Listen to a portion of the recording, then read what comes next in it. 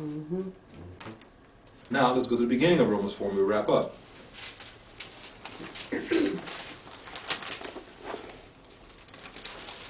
Verse 6 Even as David also described the blessedness of the man unto whom God imputeth righteousness without works, saying, Blessed are they whose iniquities are forgiven and whose sins are covered. Blessed is the man to whom the Lord will not impute sin.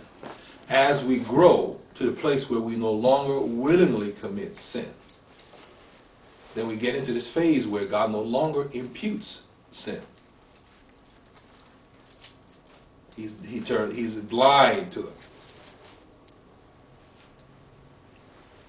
Wouldn't that be a good place to get to? Wouldn't that be a good place to get to? Mm-hmm. We have trained ourselves so much, our minds so much, we not have put on the mind of Christ. We no longer willingly commit sin.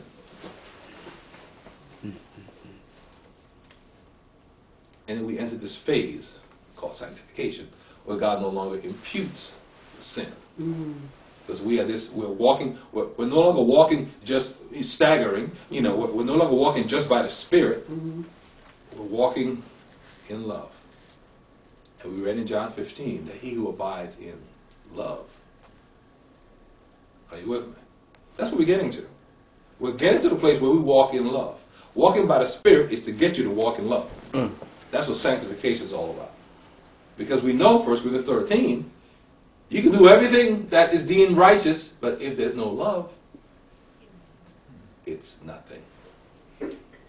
Our focus needs to be walking in love. Well, how do I love the Lord? I obey. Mm-hmm. Well, gee, how do I obey? Well, I study His Word. Mm-hmm. How can I obey something I don't know? It's a very simple equation. So, don't be embarrassed on the last day.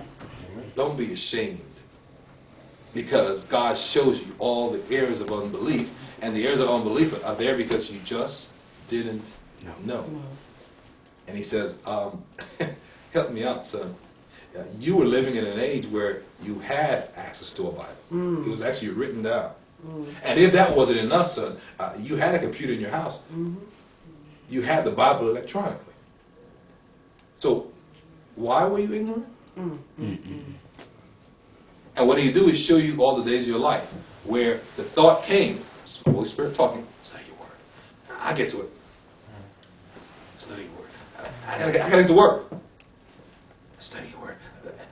Study your word. I, gotta work during lunch. Study your word. Uh, my, my, favorite show is on TV. Study your word. Oh, I'm so tired. Mm-hmm. Okay, that's day one.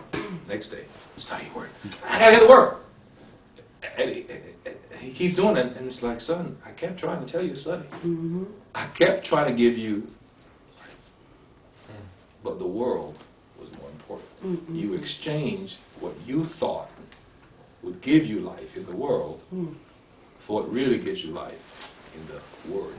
Mm. Hallelujah. Hallelujah. Let's abide.